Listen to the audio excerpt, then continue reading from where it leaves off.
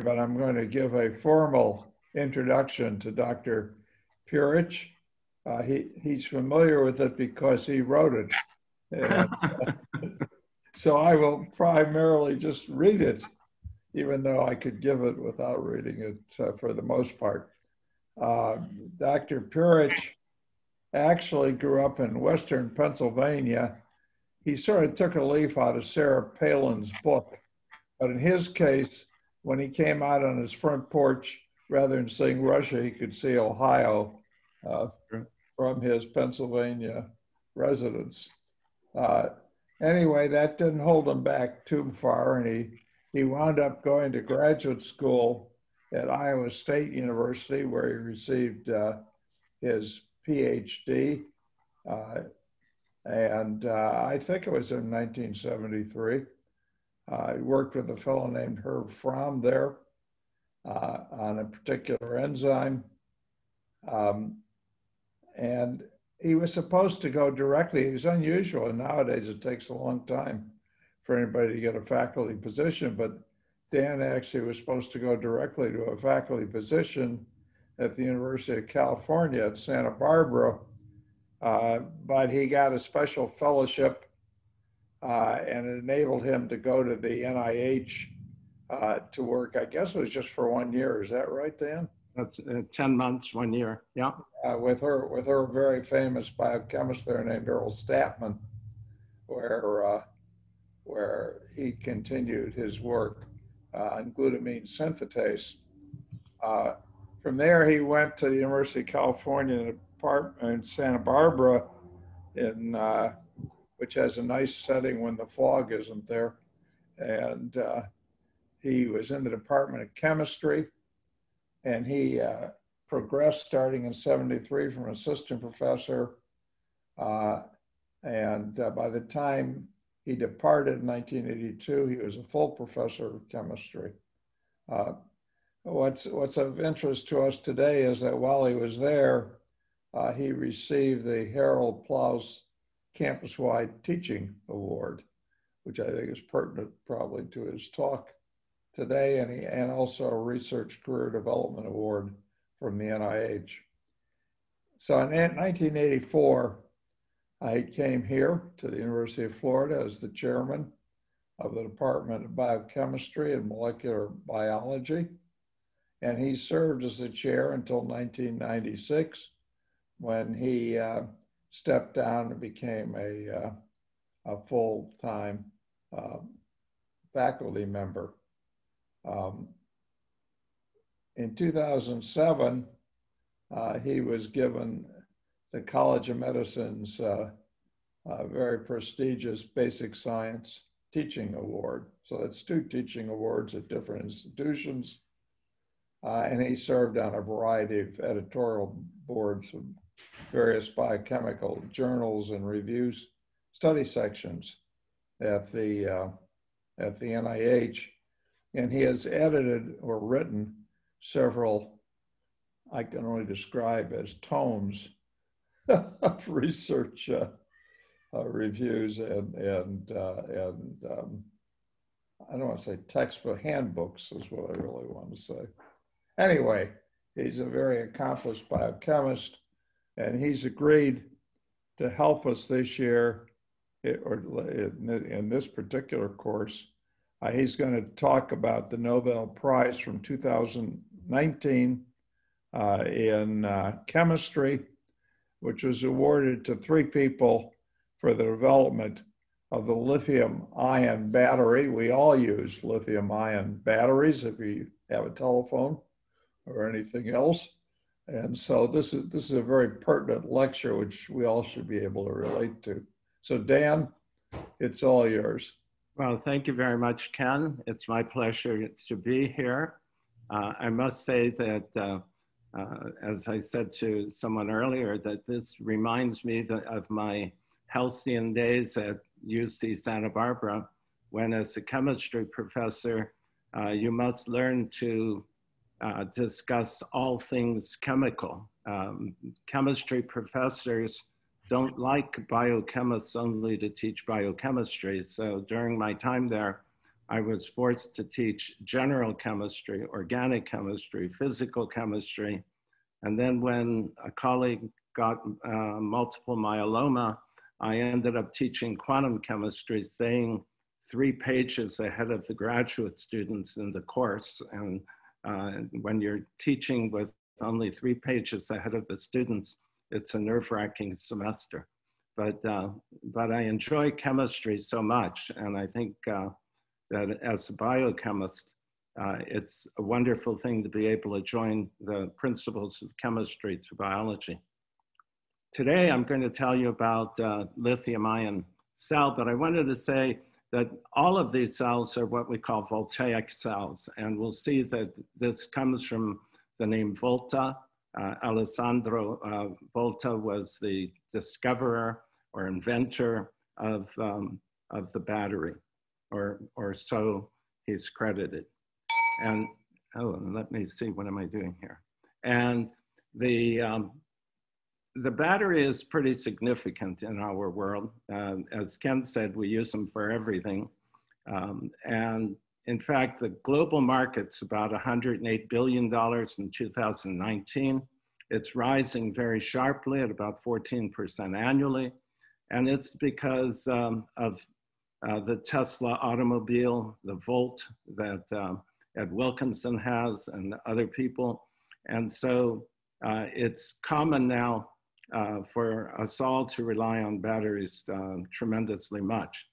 And it turns out that it's going to even go further than that because with, with these new wind turbines and, and uh, solar energy sources, we need storage. We don't want to just have uh, the, the energy uh, as it's available. And now with these new windmills that are, uh, that have vanes on them the length of football fields. They're very high power devices. Uh, and, and if you can store that energy, it can be very helpful. So it's thought that by in the, in the next 10 to 12 years, uh, the global battery market will be at at least a half a trillion dollars a year. And this 108 billion is an interesting number because 80% of that is really money coming from the lithium ion battery and from the, the discoveries that were credited in the 2019 Nobel. So uh, here uh, I, I just start with, with my presentation. Um, um, everyone would love to get one of those gold medals in the upper right. And um, I'll tell you about the three guys that, that succeeded. On the lower part of this slide, I call your attention to these lithium ion batteries, the Tesla cells that you can put in your house. If you have three of them, you can run your air conditioner, um, run all the appliances in your house, uh, and, you, and you can get the energy for that from, from say, the uh, photo cells on your roof, uh, if you're in a bright enough place. So this lower panel, I show you uh, just that, that way of storing energy. On the right, I show you the chassis of the uh, Tesla automobile and that frame at the bottom that's in grayish white is the battery. And uh, the battery is there. It's able, uh, with, the, with the Tesla, I think you can go 300 uh, miles on a Tesla and you can do it at pretty good speed.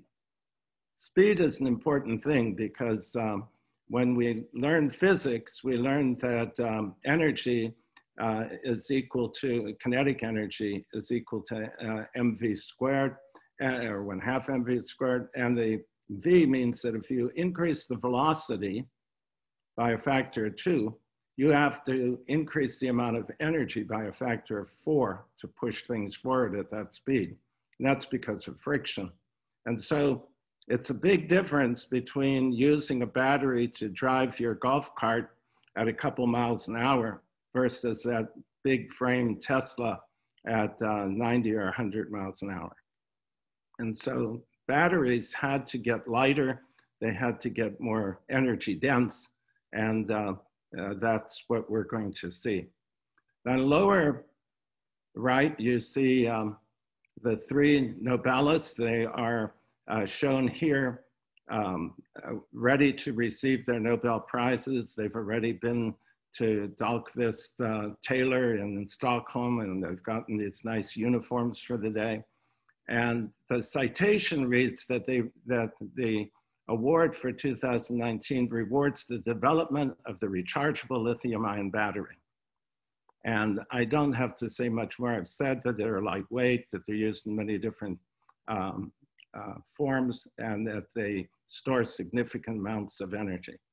Uh, by the way, the 2000 uh, or the December 10th date is important because that's Nobel's birthday, and that's the required time when the when the prize is given.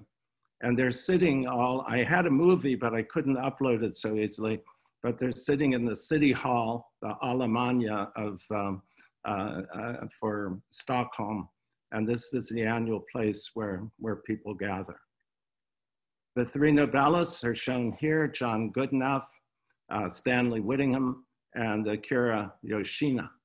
Uh, and I show you a little biographical information on them here. You see that Goodenough was born in Jena, uh, Germany, but he uh, was schooled at the University of Chicago and um, has done all of his research in the United States. Whittingham was born in the UK, trained at Oxford, but did the main body of his work in the United States. And then Yoshino trained, uh, trained at Osaka University in Japan, and he uh, worked um, at uh, University in Nagoya uh, for, for his career. Now I show on this next slide their ages. And I do so because John Goodenough is the oldest person ever to get a Nobel Prize. He received the prize at age 97 which uh, is very unusual. In fact, when, when Ken and I were first learning about Nobel Prizes back in the early 50s, when we only knew them by name, um, people rarely got the Nobel Prize when they were over 50 or 55, especially in physics. Uh, the, the ages were younger. But now the ages have, um, have gotten up pretty high because there were so many discoveries made that were Nobel worthy that people had their awards delayed. And this is unusual because in the Nobel will, where the monies are provided for the award, it stipulates that the award is really given to encourage further research at the level that, that the investigator had already done it's unlikely that Goodenough is going to do much research at age 97. Uh, so things changed a bit. Um, uh, to give you an example, my um, academic grandfather, Paul Boyer, got his Nobel Prize for discovering how ATP is made at the age of 80. But my other academic grandfather on the other side of the, on my uh, uh, postdoctoral side uh, was um, Fritz uh, Lipmann, and he got the prize at 48. So in the 1950s, it was more common to get the prizes early. The guy who's credited with inventing the battery is um, Alessandro uh, Volta. I put quotes in my, in, uh, uh, around the word inventor because I'm going to come back and talk about what invention really means. But you can see on the right uh, the battery that he made. He made these by stacking up copper and zinc plates separated by a, um, a piece of uh, leather that was soaked in a, in a particular acid and brine solution. And he could stack these up, and the more that he had, the greater the, the voltage, and we'll talk about that. And he did this in um, around uh, 1800, uh, when he did this, uh, it created quite a stir. In fact, uh, Napoleon uh, paid his way to come to France so that Napoleon could see what, what had been achieved. And within a couple years, these batteries were used quite a bit. In fact, I, I know many of you travel, and some of you may have been uh, to the very famous Galleria um, Doria Pamphili, which is just off the Piazza Venezia in Rome. And there, um, I saw about 25 years ago the lights on the wall, sconces on the wall that were almost 200 years old. They were, they were electric light bulbs from the early 1800s. And no sooner did Volta invent this battery, people were taking advantage of it. And I know that we credit Edison with the light bulb, but these light bulbs uh, in this rich family's um, uh, palace or palazzo, uh, they were able to work because they used platinum filaments. And platinum is not um, oxidized so easily, and so they could do this. So people were already trying to do things. In fact, um, uh, Sir Humphrey Davy stacked up a thousand of these and created the first uh, kilovolt uh, source of electricity in the world. And that was done only a couple years after Volta. So uh, there's very interesting history around the battery. Now, the principles of the battery that, that Volta discovered, uh, he, he actually worked with a brine solution, but others around him found quickly that you could use lemons to do this. And you see on the right um, in gray, those are zinc electrodes or plates that are, that are pushed into a, a lemon. And on the left are copper plates.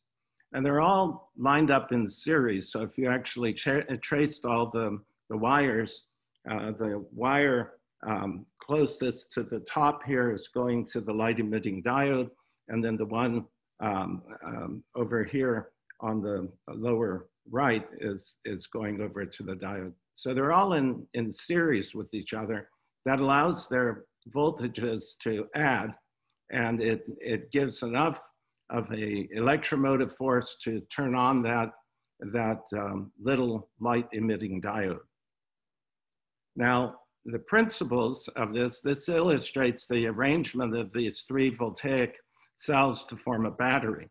And the idea of a battery, by the way, didn't come with Volta. It was uh, Benjamin Franklin who was first using capacitors, uh, Leyden jars, that he could store up electricity.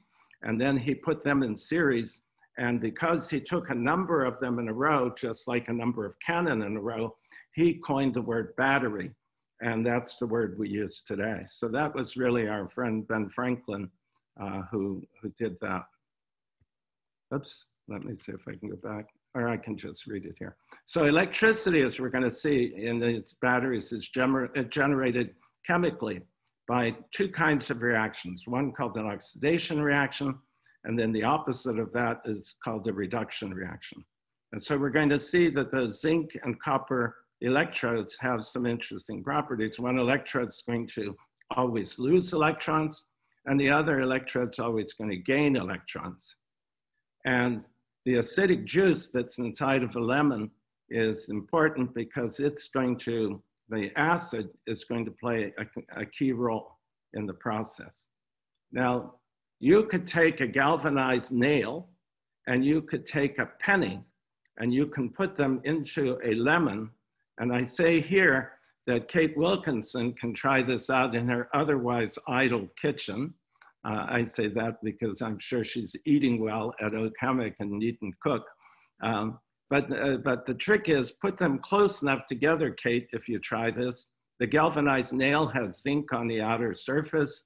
And of course, the penny, if you get an old one, uh, is truly made of copper. And, and if you put them together close enough, you can stick your tongue across it and you can feel the electricity going through your tongue. Uh, I did that at about seven or eight years old, and I still remember the little zing that I got. Now, because we're putting the batteries in series, we can add up their voltages and the voltmeter then shows us the reading that you can get a fair amount of, of voltage out of just a lemon. If you want this to really work well, you take the lemon, as I used to tell my students at the University of California when we would do this in the, in the lecture hall, uh, the best way to do this is take the lemon and, and bounce it off the floor a few times so that you break up all of the, uh, and get all the juice within it connected up so it makes a really good electrolyte solution. And when we link these all together, as they say in the lower right, that's what, where we get this word battery. So I said that the chemistry that's involved is one of oxidation and reduction. So what is oxidation? It's the loss of electrons. So on the left here, I show you a, a neutral atom. An atom is always has, when it's in its neutral form, always has the same number of protons and electrons. And then certain atoms will lose an electron. And when they do, the atom will take on a positive charge if they lose one electron, and we call that a cation. On the right, you see that lithium is neutral. That's what the zero means. That's the elemental form and it can lose an electron to form a lithium ion. Reduction is just the opposite. It's the gain of electrons. And so if we have an ion and it picks up an electron, then we form the neutral form X uh, superscript zero, which means that's the element. So an example of that is that a proton happily will pick up an electron. And when it does, it'll form a hydrogen atom. H0. And two of those hydrogen atoms immediately react because these are called uh, free radicals. They have unpaired electrons. They immediately react and they form H2 hydrogen gas. And we'll talk more about hydrogen gas in just a little bit. So you might ask, why do sub substances undergo reduction more readily than others? That is to say, why are some reduced and why are some oxidized? And this really relates to something called electron affinity. So substances with the greatest electron affinity always will have the greatest uh, ability to gain electrons. They have this high affinity, they pull the electrons toward them. And we're going to uh, see that, that, um, uh, that can help us to understand how battery works. So now I'd like to go back to, uh, to Volta's battery and sort of go step by step uh, to explain how battery works. I do this not because um, uh, some of you need to know. Ken, Ken certainly knows, and, and I see Bill Kem there. He certainly knows how battery works. But this lecture should be clear enough so that poets uh, can understand. And so I'll speak to the poets here um, uh, or, to, uh, or to the literature majors like Kate uh, so that they can understand how battery works. So here we see the zinc uh, anode, um, and then we see on the left the other electrode, the, the, the copper one. And uh, you see them immersed in a solution. That solution is sulfuric acid. We call that the electrolyte solution. And because sulfuric acid is a strong acid, it mostly ionizes to form hydrogen ions or protons, those are H plus, and sulfate anions. And so that's the blue solution at the bottom. And what you see is there's a wire uh, going between the, uh, the two electrodes. There's this electric wire and it's going to the light bulb. Technically, I should have drawn it so that this wire goes to, to this surface and the other wire comes down to the tip where the connection is made to complete the circuit. But I'm not a very good artist and I drew these late at night. And so um, uh, I tried to do the best I can. Now, if Ken is still awake, uh, sometimes he nods off, um, I will ask uh, Dr. Burns, so, uh, so why the smiles on the faces of these two uh, electrodes? Ken, do you have an answer for that? All right, Ken is not going to answer. So let me say, they form a redox couple. And with Ken and, and Laura being a happy couple, I thought that I would make these electrodes so they would sort of have happy faces. And you, you see the two there. The zinc one is going to lose the electrons, and the copper um, uh, uh, electrode is going to pick up the electrons. So the electrons are going to pass through that light bulb, uh, through, the, uh, through the outer part of the light bulb. They're going to raise the temperature of the filament because this, this filament is actually a resistor and it wants to, to resist the motion of those electrons And once the, the temperature of that filament gets to about 3000 degrees centigrade, believe it or not, then we have an incandescent light. That's why incandescent lights uh, require so much energy is that you have to put a lot of electrons to heat up the filament. Now, what I'd like to do is just sort of take you through step by step how, how this works. And so here we have a light bulb, it's off. We have these two electrodes sitting, sitting in a solution of sulfuric acid and the zinc um, plate, the zinc has a low affinity for electrons. So the electrons come off and for each electron that is generated, we form one of those gray circles shown in the solution. That's the zinc ion. And, and what happens is as we accumulate those ions, then the electrons start to enter the bulb. And I've, I've sort of highlighted the bulb a little bit to make it look like it's, uh, it's starting to light up weakly. And then in these next three slides, which I will click through quickly, you'll see the flow of electrons. Okay, and why did the electrons flow that way? Well, it's the case that, that copper is such a very good conductor of electrons that as the electrons come from, from the light bulb, through the light bulb, oops, let's go back up there. As they come through here, uh, they come down and the electrons, as I show at the bottom, they combine with a proton to form a neutral um, hydrogen, um, and that two of those hydrogen zeros combine, those free radicals combine to form hydrogen gas. So anytime you have a voltaic cell, you're producing hydrogen gas. And uh, so here I show a fresh battery, and I show uh, the principles that I've showed you before. Here we see their happy faces, but now I show you that they're frowning, which I'm showing you a discharge battery. They're frowning because if you look at the lower part of, of the zinc electrode, it's already disappearing. So the battery will only work as long as the, as the zinc can sacrifice uh, some of the zinc metal becoming zinc ions that will be in the solution. But once we run out of those, those um, zinc um, of the metal, we're in trouble. And so Volta's battery is not rechargeable. So all of the uh, primary batteries, we call primary batteries, batteries that we don't recharge, they all have this problem that they undergo the chemical reactions irreversibly when they're, when they're done, we find a little plastic bag, we, we put them all in the plastic bag, take it to the recycle center and say goodbye. In the 1850s, a guy, um, a French physicist, figured out how to make a rechargeable battery. And he did it using a lead acid battery, uh, using sulfuric acid and lead. And, and he was able to make a a very powerful battery. It's the same battery today that we use in automobiles. And so I show you a die-hard battery on the left. I show you uh, a blow-up uh, diagram of it um, to show you that the battery is a little more complicated inside than the way that, um, that Volta had it. Oh, by the way, I should tell you, Volta, when he discovered the battery, he didn't know what was happening.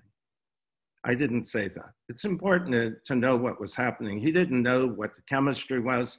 He saw that the electrodes, uh, that the zinc was getting, um, uh, was uh, corroding, but he didn't know why. And it was Michael Faraday, the very famous scientist in the 1830s, who figured it all out. And all the electrochemistry of batteries um, is really credited to to Faraday, who's really the father of electrochemistry. I, I made a mistake by not telling that earlier. But in a modern battery like the die-hard battery, to improve the performance when you're going to be recharging the battery, you have to have a little porous film between the, the anode and the cathode. And the reason for that is as you recharge and you re, uh, reattach metal ions back to where they had come off, um, they don't go on evenly, and they may actually have little burrs in places. And if you go over a bump in your automobile, one of those could drop off. And if it touches the oppositely charged electrode, you will foul that cell and you'll lose the uh, electromotive force of your battery and you'll be going back to the dealership to get a new battery. So instead, we put these um, uh, porous um, uh, spacers between or films between that, uh, and those septa actually keep um, things working a lot better. So they keep the positively charged part of the battery from touching the negatively charged part. Now, lead batteries are, are pretty good. Uh, they have this high surge current, which means they can start a gas engine or a diesel engine. They can be designed a little bit differently so that you can use them, say, to, to power a, um, a golf cart or a, a small trolling motor on um, um, that someone like Joe Shands must have used, or Ed Wilkinson when they go fishing. But the lead battery has some big limitations. It's um, got a low energy to weight ratio, and that means you need to have a very heavy battery to get much energy out of it. And it has a low energy to volume ratio, which means the battery has to be pretty big. And so both of those things are a real limitation. If we had to carry lead batteries around uh, these days to power our hearing aids and other devices, um, uh, we, we wouldn't like it at all. So the lithium battery became one that was very interesting. Lithium, of course, I show you here on the upper left, lithium is the third element in the periodic chart, sitting right below hydrogen. And, and it has a atomic mass that's that's 30 times lighter than the atomic mass or atomic weight of lead. That means that you can get a lot more charge per, per weight out of a lithium battery. The chemistry is the same, shown at the bottom. The lithium um, loses, uh, the lithium element on the left, Li0, loses an electron and becomes the cation. So lithium batteries were very popular and in the uh, in the 1970s and uh, 60s and 70s, the lithium batteries were already being used, but they weren't so good for uh, as a rechargeable battery. And in fact, even today, there, there are batteries that use metallic lithium, metallic lithium, a big piece of metal, um, as, the, um, uh, as one of the electrodes. And the problem with that is that Metallic lithium has a tendency to explode. And I show you a, a phone that sort of had a bad day. And, um, and that phone caught fire because the lithium battery can explode. So why does it explode? Well, I, I said to you earlier that anytime you're recharging, as you recharge the surface and put the ions back, they don't get back always uniformly. In fact, if a little bit sticks out, there's more surface area and those areas will tend to grow. And they're sort of like stalactites in a, uh, in a cavern. Uh, so if you've uh, been to any um, of the famous caves, you've seen stalactites. And these long whisker-like structures can keep building. They're very rigid. And they can actually penetrate the septum that's between the two electrodes they can move all the way over to there, they can short it. And meanwhile, there's a lot of hydrogen gas around. And the hydrogen gas causes the thing to pop and you're in real trouble. And in fact, the Samsung a couple years back decided to use a metallic lithium battery, not the newest generation batteries, because they were trying to make the phone cheaper and they paid a big price for it because eventually they had so many problems with it, as you know, that you couldn't take them on airplanes with you. Uh, they, they would specifically quiz you whether you had a Galaxy 7 uh, in your purse or in your pocket. So This Nobel Prize in chemistry has to do with making a lithium battery that has a lot of power, but also is much safer to use. And this interest in doing this started in the early 1970s when, um, when OPEC decided to raise the cost of, um, of a barrel of oil from 425 to about $15 overnight. And people started thinking more about windmills and solar power. But if they were going to use those, how would they ever store the energy? And so people started thinking maybe we have to come out with new forms of uh, batteries. And this is when Whittingham comes into the story. And what he was interested in was developing new methods that could store large amounts of energy so that we could move away from fossil fuels. He wrote an essay about this in the um, early 1970s. And he, he had been working on superconductors. He was thinking originally that if you could make all the wires in the country have superconductors that worked at room temperature, then you would be able to uh, cut down the amount of heat that was used for the conductance of uh, electrons, and that would save so much electricity that that would lead to a greener world. But room temperature superconductors were not available at that time, didn't come on until I think the earlier part of um, uh, the last part of uh, the 1990s and earlier part of, of the 2000s. But he switched over and started working on, on electrodes. And he developed a very creative way, an innovative way to make a, an electrode and, and incorporate it into a lithium battery.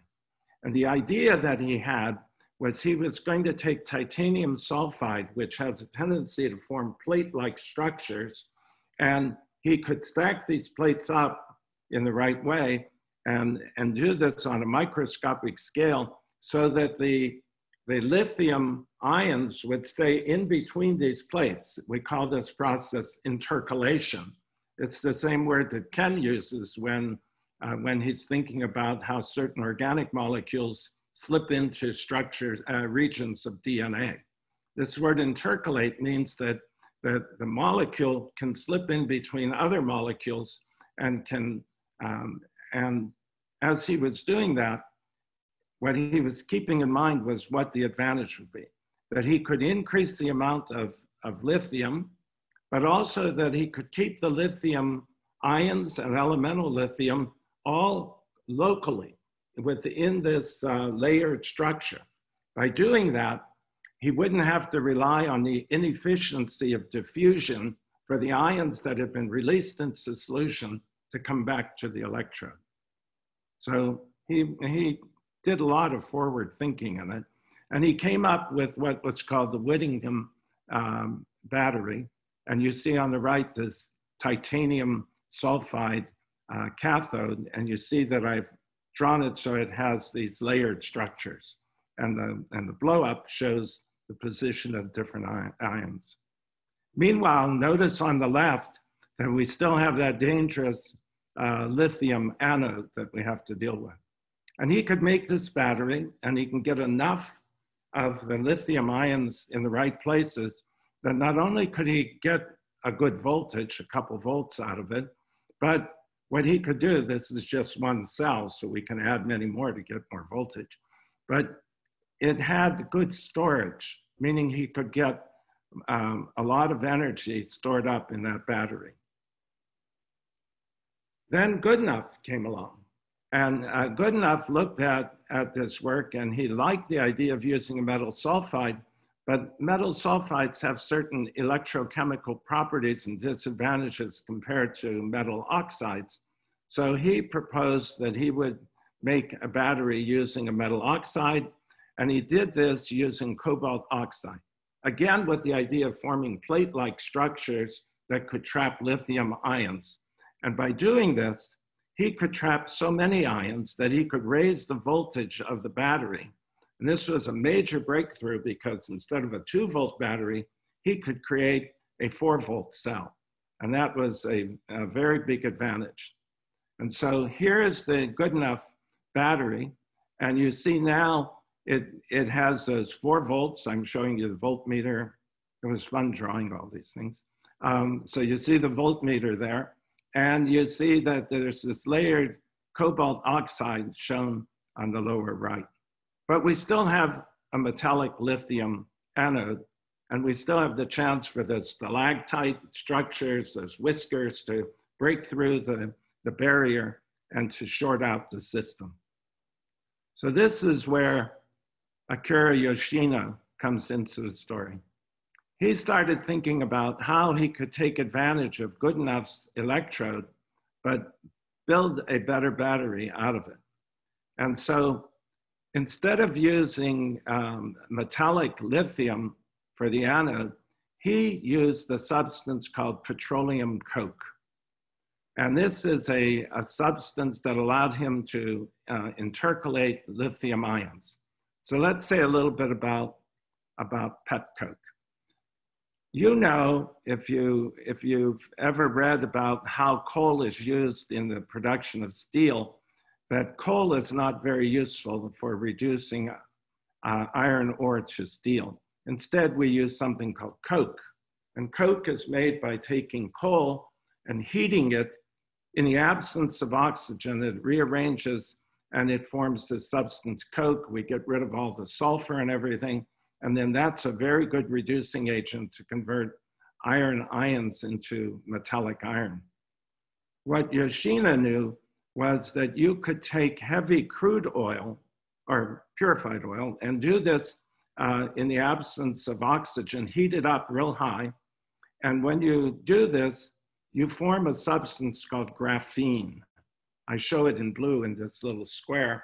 And if you look closely, right above the word graphene, it says Nobel Prize 2010. And that's because another group had discovered graphene and it has such spectacularly interesting properties that they got the Nobel Prize for it.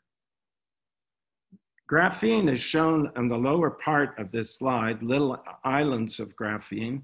And and the graphene is able to, because the, the structures are enough far away from each other, the lithium ions can get in it.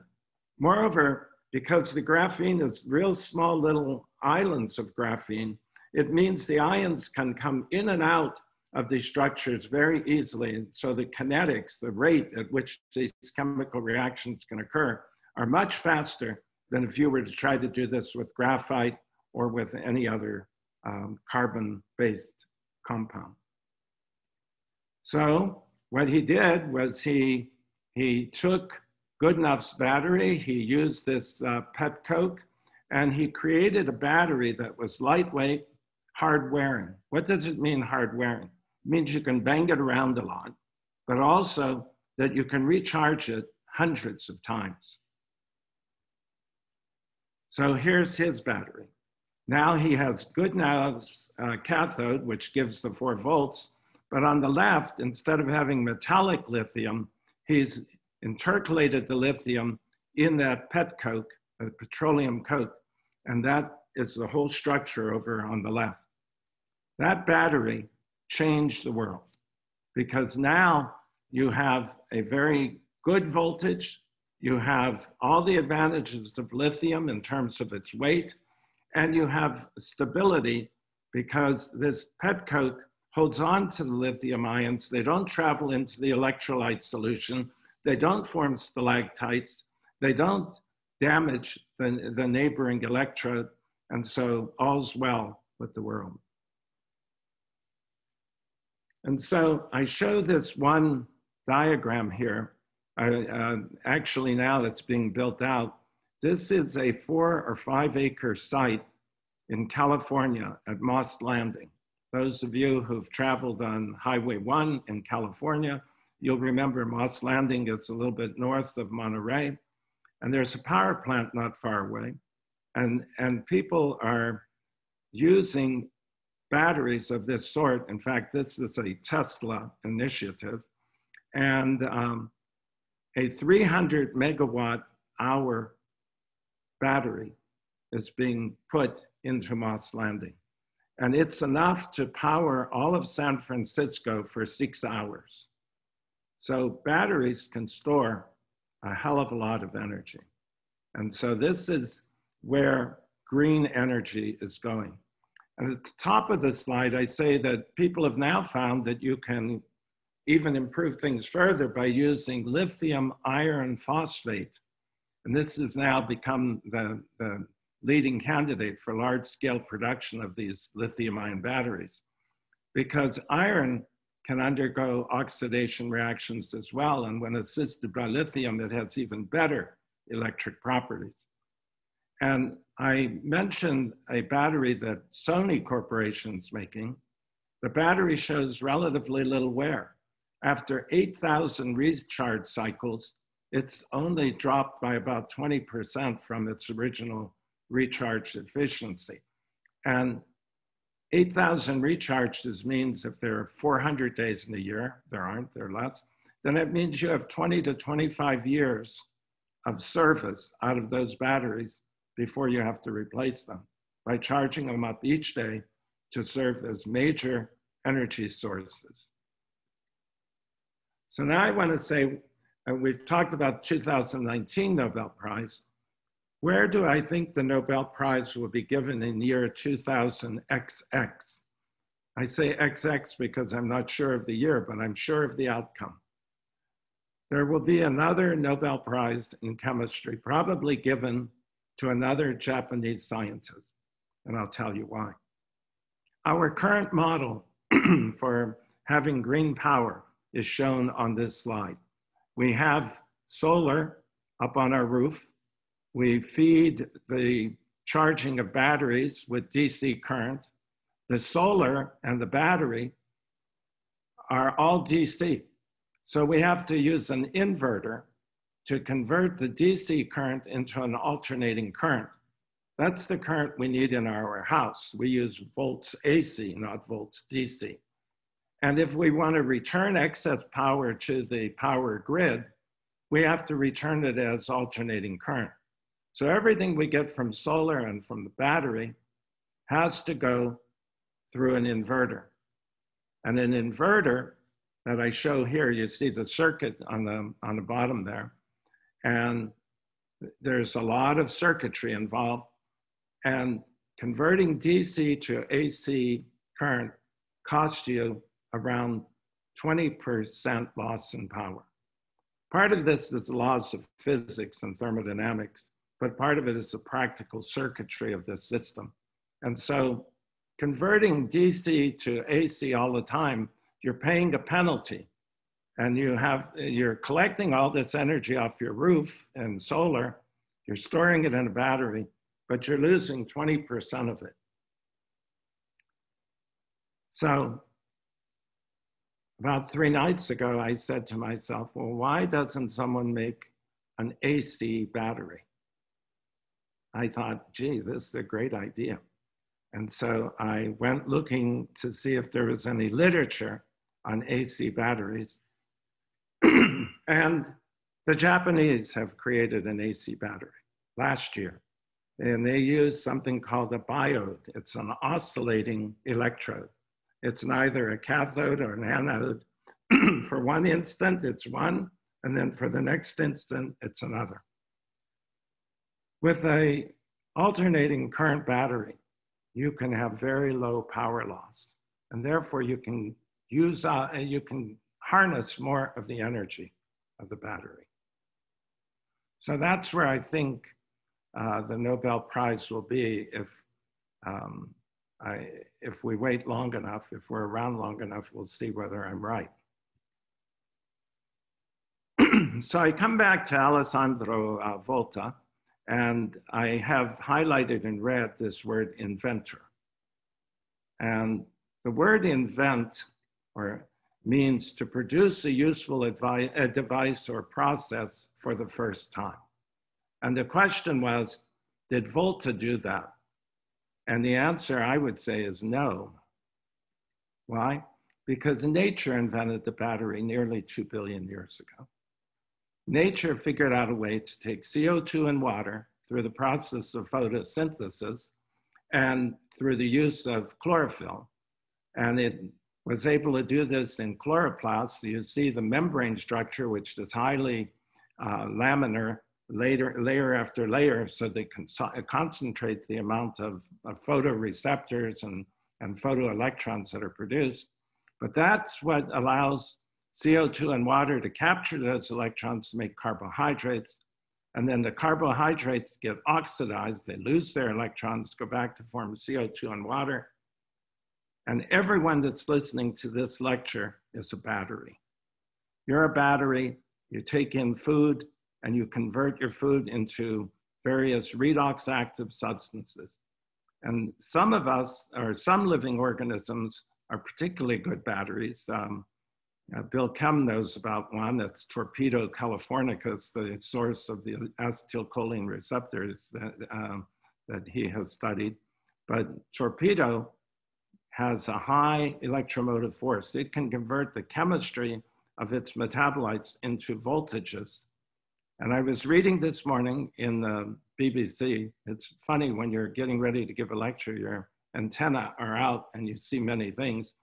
There's an article in the BBC about how electric eels work in little groups so that they collectively zap their, their uh, prey. They don't rely on one eel to, to kill. They actually have, have extra current going into their prey.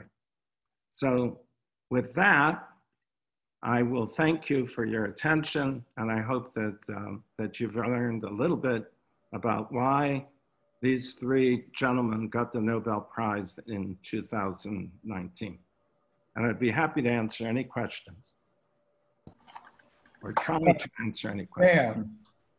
Yeah. Excellent lecture as always, even if you try to put me on the spot. So I thought I'd return the favor.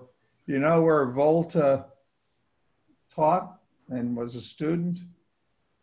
You tell me, Ken. He's at the University of Pavia. See, Ken is, let me tell you why I could have guessed that and then it would have been, uh, it would have been no fun. But Ken has a dear friend at the University of Pavia. And so, so he knows all things Pavia, okay? Um, and I know a lot of things from Bologna because my friends uh, uh, mainly are in Bologna and Ancona. And, um, and but Ken would say that's all baloney, and so he wouldn't he would accept that anyhow. And, uh, and, and of course, my my friend's my friend's son is here at the University of Florida. Oh, wonderful, wonderful. Yeah. Uh, so uh, if there are any questions, I'm happy to uh, try to answer them. So Dan, I do have one comment. Yeah. And that is, I think you're being a little unfair to Volta, it is true that nature invented the battery as it invented most things. But, you know, I simply look at DNA. Watson and Crick got the Nobel Prize for discovering the structure of DNA, but who was responsible for that? Well, but but nature invented DNA, but they they did the original work of of discovering the structure. They didn't invent the DNA. Well, that's the point, and I think Volta's in the same category. Yeah, but Volta Volta gets a lot of credit. You know how much I have a, a kinship uh, as you do for the Italians. I even have a little property in Italy, so I, I I'm very happy to give him credit. and, and he what he did was he was. It turned out a few people before him had thought about batteries, including um, including Franklin, but but what he did was he popularized uh, the cell, the voltaic cell, and that made a big difference. And, right. you know, in science, you get a lot of credit for not only the discovery, but doing things where you actually push the science forward. And, um, and we know that, um, uh, that he was very active in doing that. And of course, Franklin, that crude American, from the colonies, was an early member, a fellow of the Royal Society. Right. He was well well appreciated for his efforts. Yeah, I, I tell students that um, that Franklin was the person who first got an accurate idea of how big molecules were because he took oil, olive oil, and spread it over a pond in Versailles. He was busy in Versailles trying to pick the pocket of the, of the King of France. Um, was that the 14th, Louis the 14th or the 16th? Yeah, Louis the 16th, I think it was. And um, he, he figured out how many drops of oil it took to cover a certain area of pond and, and form a thin film. He divided that volume by that area and came up with the thickness of, um, of a fat molecule to within 10%. So these people were very, very intuitive and very bright. There's no doubt about it. Um, they, they just didn't have PubMed and big literature. Um, we, we benefit from having a lot of literature that we can read. So Shirley, you were up early. Well, hold, hold on just one moment. We have a ton of questions that are queuing up. We do have some in the chat, but I was just going to see if John, or other uh, facilitator, wanted to make a comment or question, or you want to wait? I'll wait. Okay. Shirley, go, and then I'll go to the chat. Uh, several years ago, there was a cadmium battery factory here in Gainesville out the road. Yes, Was it that's just for right. Passing fancy or, Yeah, it was up on 441. right, Uh, right. I worked there for years, right. Yeah, and and it's controversial because uh, cadmium, as as good as it is in the battery, it's highly toxic. It was very dangerous Yeah, for the yeah, people working it- with it. Yeah, and so uh, this is a real problem. Um, cadmium and cobalt are are often used in batteries, but they are a lot more toxic. Lithium is not so bad, um, and if you have um, some um, uh, uh, if you have some bipolar disease, the lithium could even be good for you. Uh, but uh, but it turns out that uh, cadmium and cobalt are not very good. Uh, they they they bind to some of our metabolites so tightly that they interfere with our metabolism. Uh, so ATP, a very important molecule in our bodies, binds to cobalt and cadmium about 10,000 times tighter than magnesium ion. And that messes things up for us. So it's not a good thing. Thank you. You're welcome. right. One of our chat questions says, what is the cost of making an AC battery?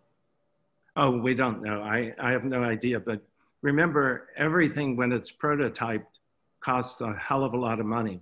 But then people start to figure out all these different things. You notice that that uh, several of these um, Nobelists were really chemical engineers. They weren't even chemists because uh, engineers have this habit of simplifying things. Keep it simple, stupid is what they do. And so Yoshino uh, really lowered the cost of the battery tremendously by using pet coke.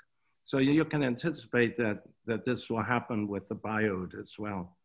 Um, it's just, I thought we should look into the future a little bit about batteries, and that's why I brought it up. Okay, thank you, Barb. Oh, yeah, just have a, I loved your lecture, Daniel. It was really good. Thank Um, even, if, even if I am a biologist. But um, I just had one tiny little thing on your diagram. Before you use it again, could you could you show the voltmeter in parallel with the circuit, not in, it kind of looks like it's in series. Oh, it's actually uh, in series. The voltmeter? Oh, um, the voltmeter is sitting there. Uh, it, it's, yeah, it's just running through. It's in. Yeah, it's a in voltmeter, when you use a voltmeter, it's supposed to be parallel and an ammeter in series, but hey, um, Oh, I see. I see what you're getting at. Yeah. Oh, technically you could do that. Yeah, you're right. technically, Yeah. yeah, just, And, I, and by the way, um, uh, Barb, I will never use this set of slides again. these, these were these these were made. If no one else was at my seminar than you, Barb, then these would have been made only for you. Okay, they were only made for this class because I don't teach um, uh, general chemistry anymore. I I am a specialist in enzyme chemistry, and in fact, as a biologist, the big part of biology is that my laboratory, in collaboration with the lab in chemical engineering, we discovered the molecular motor that allows every cell in your body to crawl. And so, Mm. some other occasion, if Ken ever arranges to talk about non-Nobel work, I'll be happy to come back and tell you how cells crawl, and uh, that'll be more Maybe you'll biological. have won the Nobel by then. uh, Yeah. or even one bell.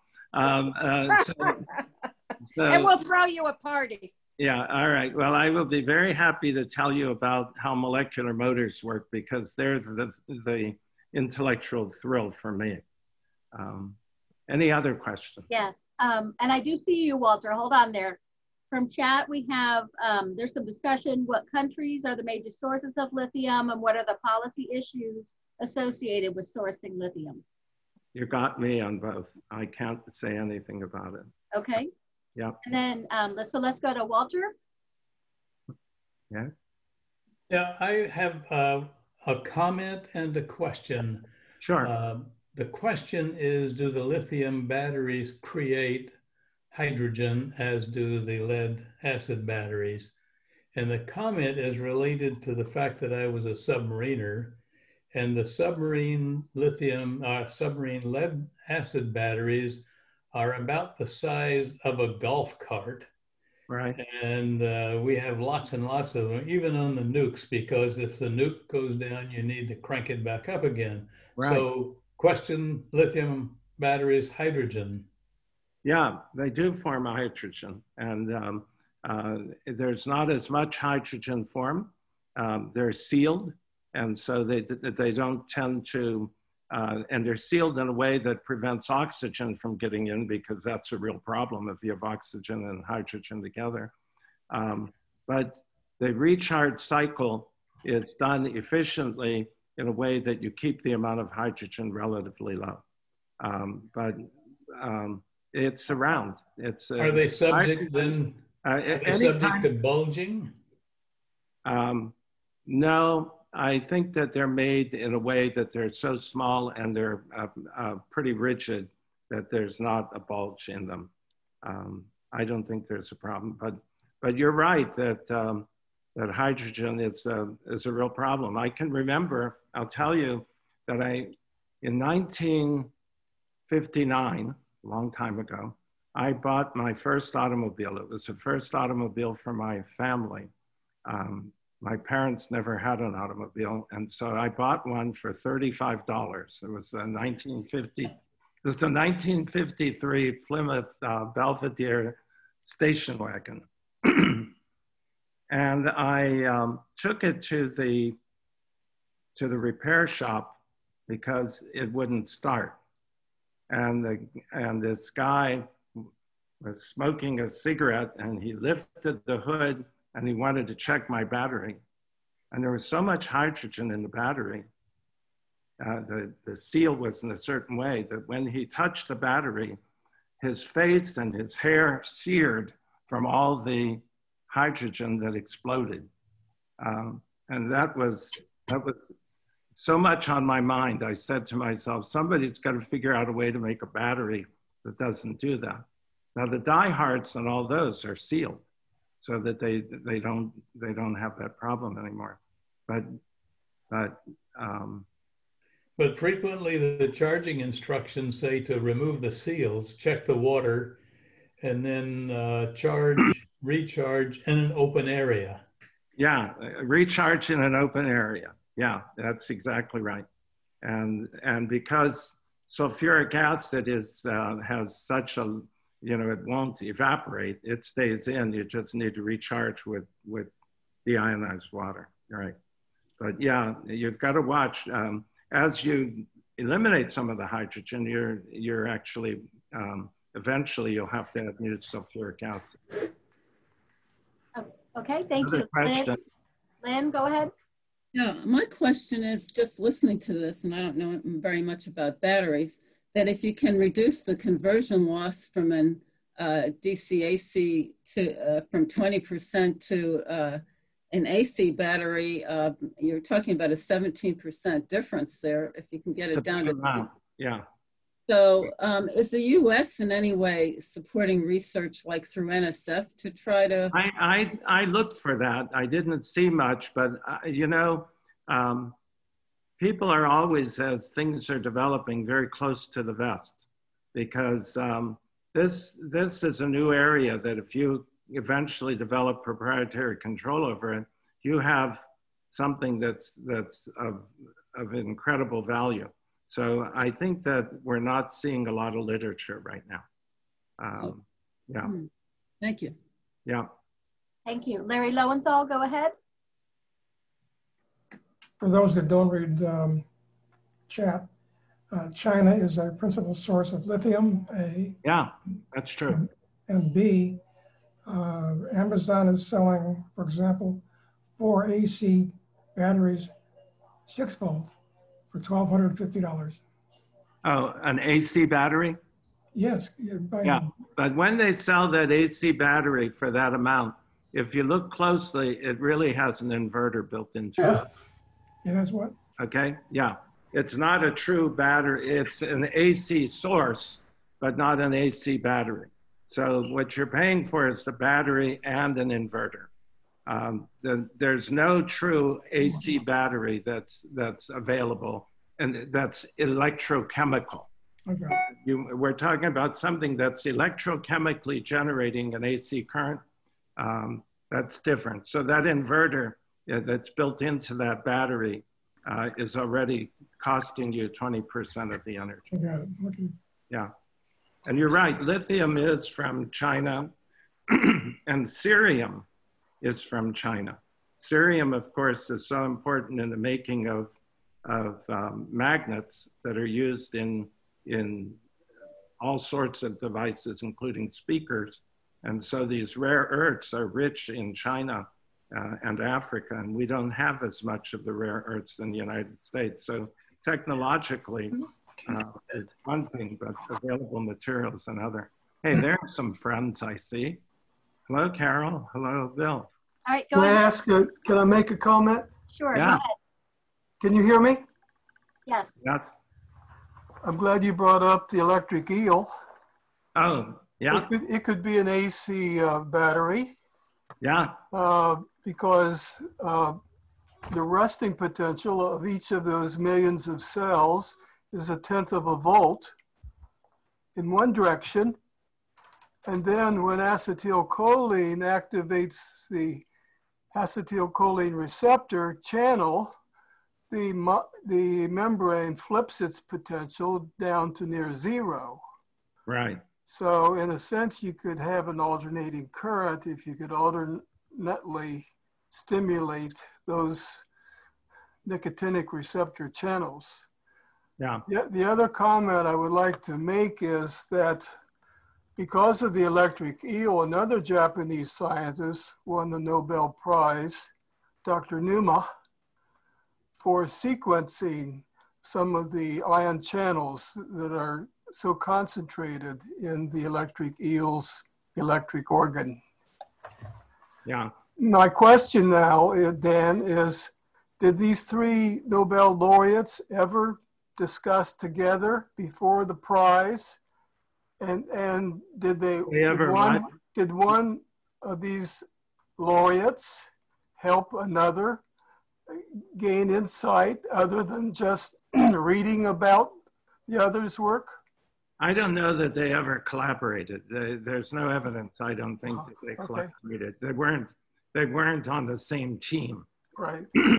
Um, if they were, then you would know that pretty quickly because each one of them shared one third of the prize.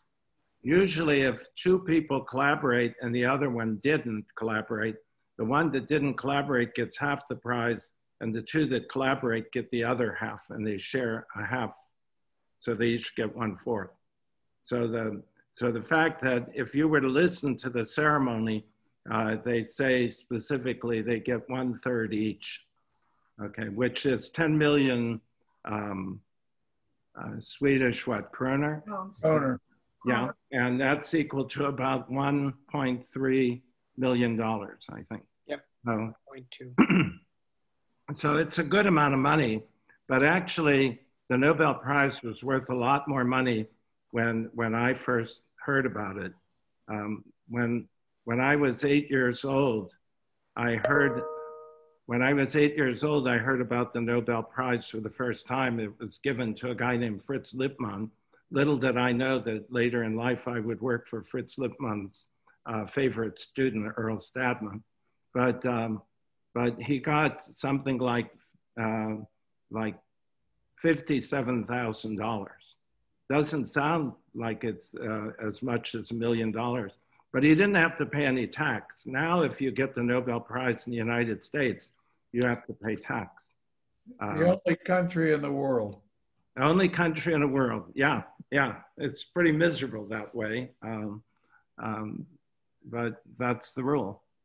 Yeah, the president doesn't pay, but the Nobel laureates do. Okay. Yeah. Yeah, it's, it's true. John Axe, did you have any comments?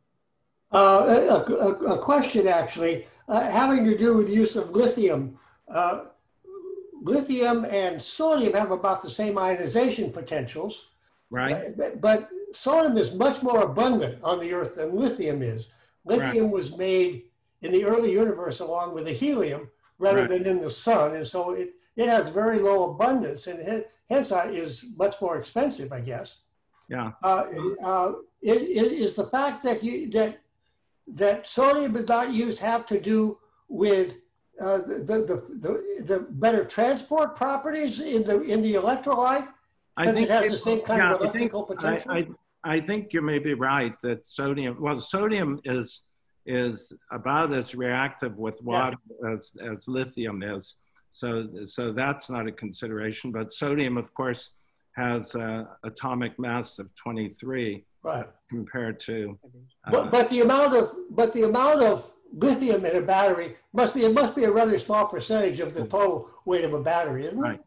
Yeah, you know, there are some things that are different about lithium. It turns out that lithium and potassium take four water molecules around them. They form what amounts to what's called the tetrahedral arrangement. Yeah.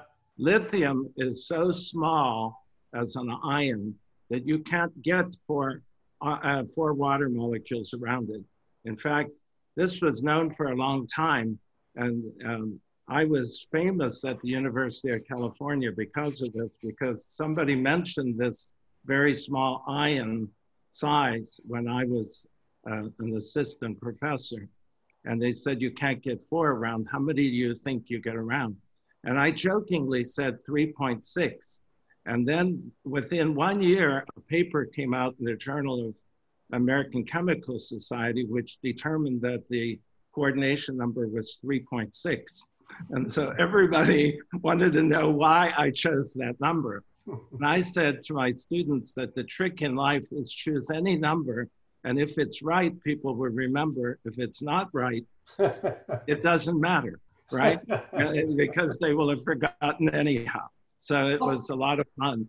Uh, but that property may be important in the way that it hydrates and the way the kinetics of it coming on. the way it transports it through the electrolyte. Yeah, so the electrolyte transport may be a, a property there. So it's it's um, it's interesting.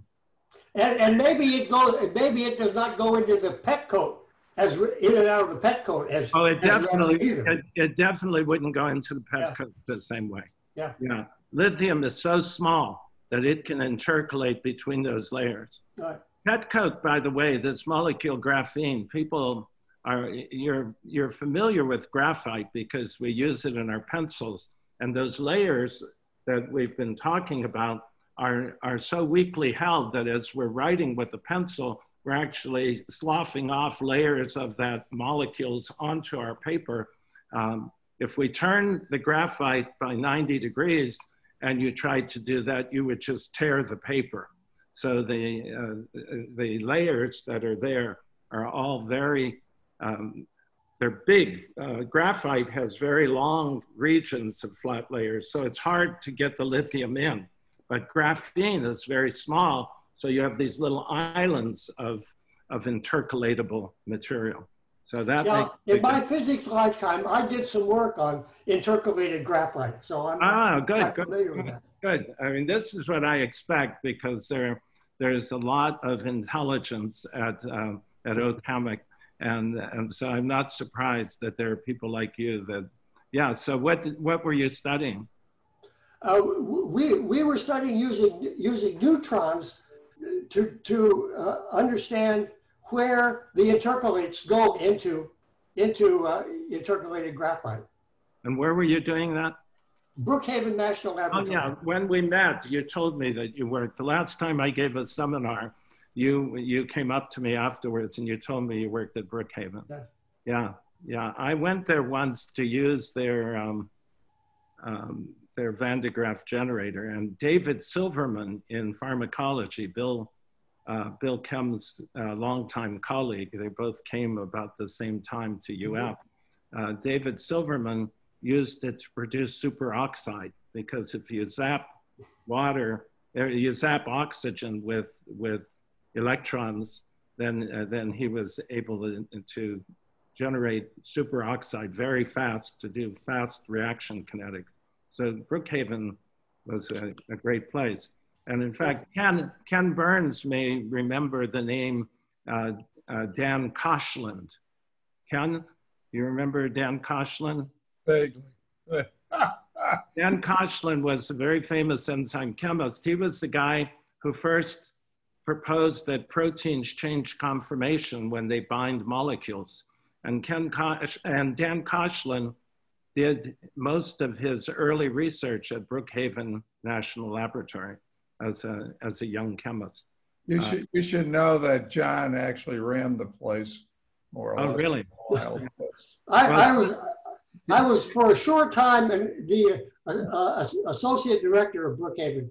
Uh, Well, but, uh, but that, that, uh, The earlier, I was not very good at that. yeah, the earlier Yeah. directors did not take great advantage because if they had held on to Koshland, they would have done very well. Koshland, he, his immediate family owned 70% of Levi Strauss. Uh, Okay, so he could have funded a lot of different things, although you're a national laboratory, so you didn't need money, uh, presumably. But uh. Koshland uh, uh, uh, got, he was a professor at UC Berkeley, and the female faculty members got upset that the male faculty had a faculty club. And so Koshland said, you find a place and I'll build it. And he, he paid for the whole thing. So, This This has been was- great discussion. If we'll go to John Reiskin for final comments. Thank you. Yeah. Yeah, I first of all, the illustrations were magnificent, uh, Yeah. and uh, it should be in every freshman textbook uh, oh, because it it was so clear and so straightforward. So um, don't throw them away. It a future. well, Um, I, I love um, people who know my lectures. I, I always sort of, I, I have, if you look in the dictionary for, uh, for obsessive compulsive disorder, you'll see a photograph of me because I'm the person who's always trying to make slides as perfect as possible. Well, Um, you- I will you correct that voltmeter uh, because I do recall that you're absolutely right. yeah, Uh, Bob will be appreciated. Uh, I- Well, th- thank you for participating. It this is the I'm tenth very delighted. Uh, tenth you year. know, I, I know so many people um, uh, out your way, and I probably will end up being a denizen out there someday. Uh, but, Yeah, uh, but I have a six acre property that ha- helped to take about half of the weight off that I've lost by working so hard in it. And I probably would only move to Oak Hammock on the condition I could bring my Kubota tractor with me. Well, a lot, a lot of us don't live there, and um, we appreciate their hosting this course and Ah. all the courses. I But see. thanks you very much. You don't live there. You live in. Nope. Dan, We, we're a lot of townies here. Yeah, yeah. Yeah, I'd I like see to 'em all make over. uh, Good. Like your substantive beard, Dan. Comment about, uh, about your talk, and that is, um, uh, the three prize winners illustrate a very common phenomenon, and that is that a large fraction of the Nobel Prizes are won by Americans in science. Uh, but it's noteworthy that, as usual, both of the American scientists are immigrants. Right. So, for Right. those who wonder about immigrants and their value to the U.S., I think uh, the About- Nobel prizes are a very good standard to look at. Including including the big Al, right? I mean, we we had Albert Einstein. Uh, that's right. But- Incidentally, just before we leave, Albert Einstein was one of, the, I think, the only Nobel laureate who didn't get a penny out of his prize. He gave it to his former wife for divorce settlement. Exactly. a wonderful.